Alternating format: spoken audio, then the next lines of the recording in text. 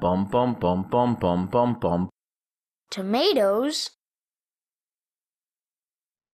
Hello and welcome to the video for what is get data table column as string. So this is the node we're going to look at. If I run my example, we're going to get back three results here, three names.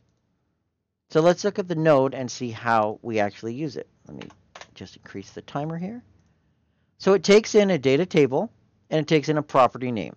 If you don't have any valid data in here, for example, if we went none and we hit play, we're not going to see anything here because our result is going to be an empty string array. So in this case, I want my data table full of weapons. And if we look at it, we can see it's got a couple items in here with some stats. Now we're looking at properties. Properties are going to be the individual values. So it's going to be our item ID or the name, the damage, the durability, the rarity. These are our property names, and then we have our property values. So the name property gives us all of these. The damage property would give us all of these, etc. And remember, it's going to return them out as strings inside that column. So in this case, I'm asking for all the names. Then I'm looping through those names and then simply printing them out. If I wanted something different, for example, maybe I wanted the durability. Oh, let's go with the item ID, for example.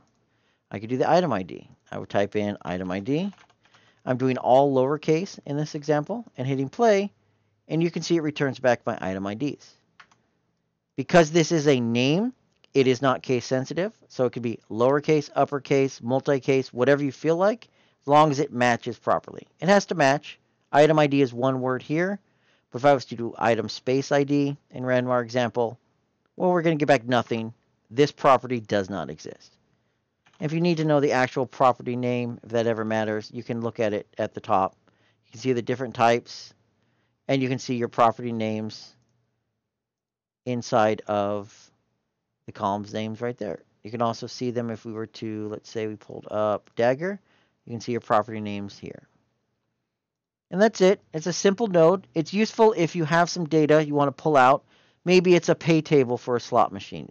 Maybe it's a list of experience required for each level in an RPG, and you want to present it to the player and get it in a nice, easy fashion.